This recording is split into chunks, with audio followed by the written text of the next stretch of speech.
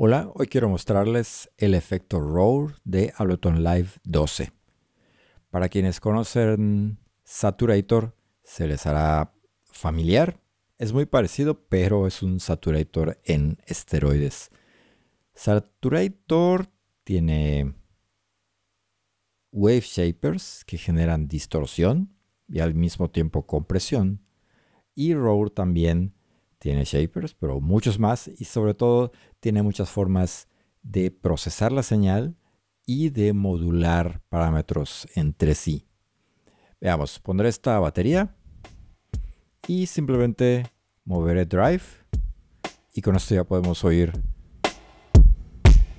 el calor en la señal.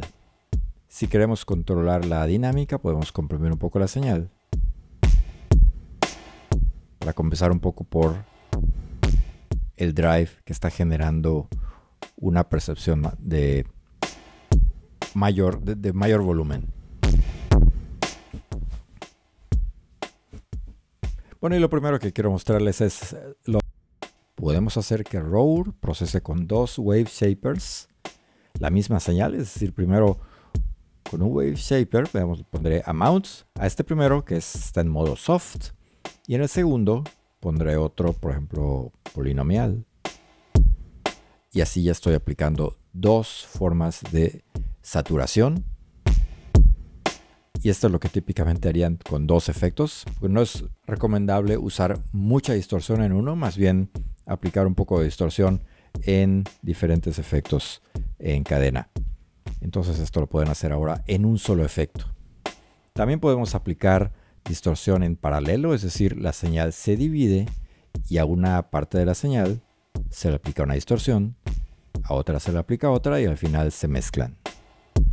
También está, y está muy bueno, es multibanda, porque podemos aplicar una distorsión a las frecuencias graves, que por cierto los límites están aquí, y otra distorsión a las frecuencias medias, y otra distorsión a las frecuencias altas.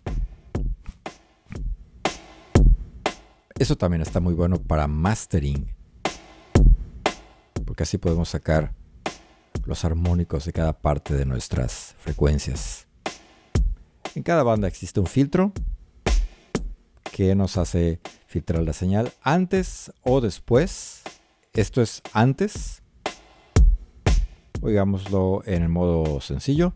Es decir, Aquí estoy, cuando pre está encendido, primero filtro la señal y después se aplica la distorsión.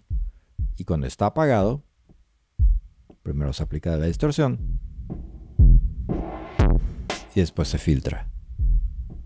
Y como les decía, otra forma de crear estas distorsiones es MIDI side, donde podemos hacer efectos espaciales o crear un poco de más espacio en nuestra mezcla creando diferentes formas de distorsión dependiendo de dónde se encuentre la señal. Y esto también muy interesante es feedback, porque Roar retrasa la señal como un efecto de delay. Y para eso he puesto aquí en un retorno Roar en modo feedback y con un poco de retraso en la señal puedo crear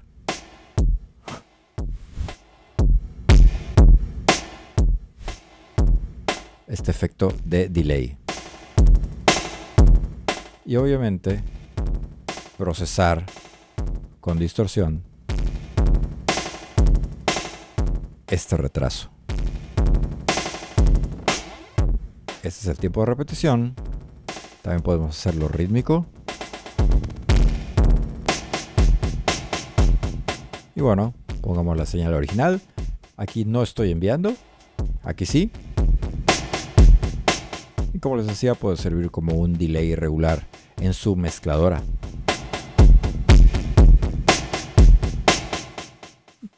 Bueno, ahora volveremos a la batería.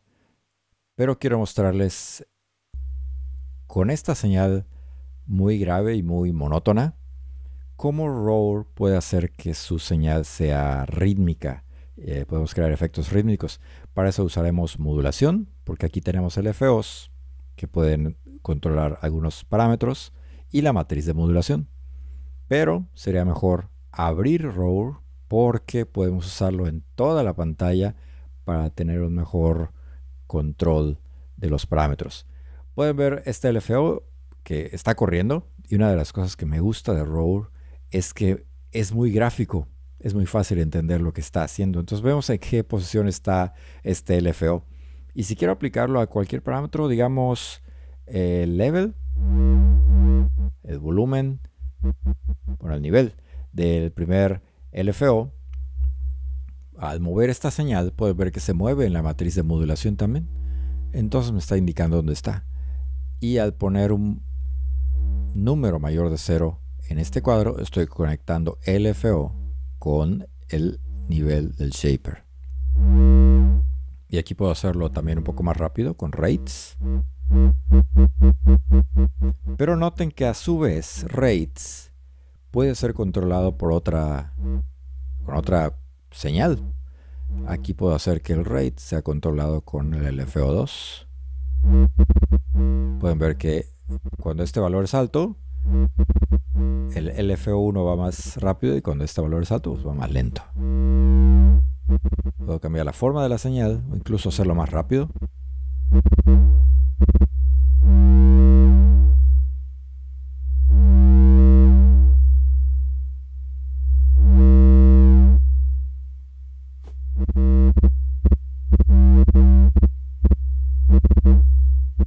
Y bueno, así voy creando efectos mucho más interesantes.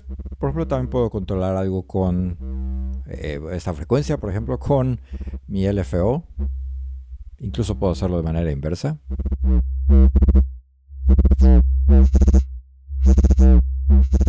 Y como les decía, esta señal que era algo completamente monótono y que de hecho casi no se oía, ahora se convirtió en una señal mucho más interesante y con más dinámica.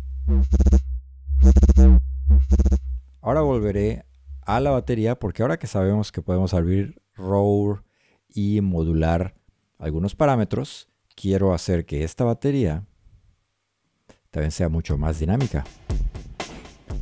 Por ejemplo, quiero mostrarles el envelope follower, que es esta línea que describe que va siguiendo la amplitud de mi señal y la cual puedo usar para controlar otros parámetros. Por ejemplo, yo quisiera controlar el parámetro, pongamos esto en multibanda, el parámetro de Shaper Threefold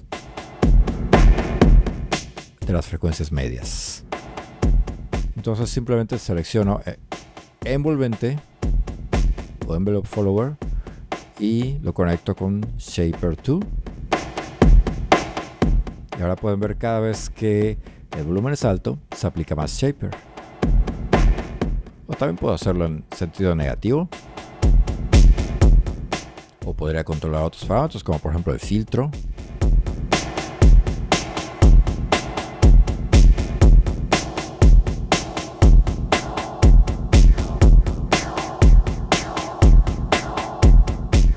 Y ahí pueden ver que, o pueden oír que ahora la batería tiene un sonido completamente diferente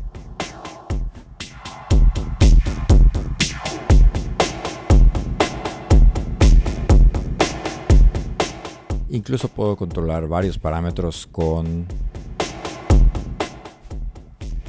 diferentes envolventes para lograr un movimiento mucho más complejo.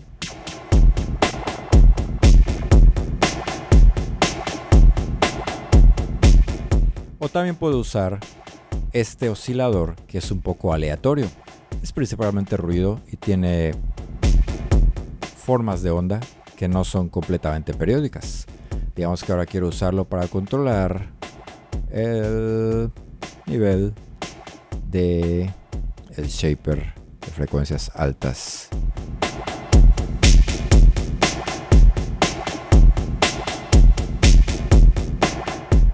Pueden notar cómo hemos transformado esta batería, que por cierto sin delay suena así, y la hemos convertido en algo como esto,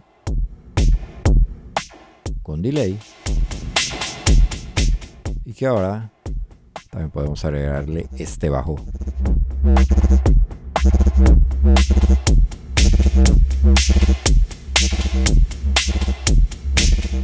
Bueno, espero que esto les dé muchas ideas para transformar sus sonidos. Ah, todavía hay mucho más de Roll.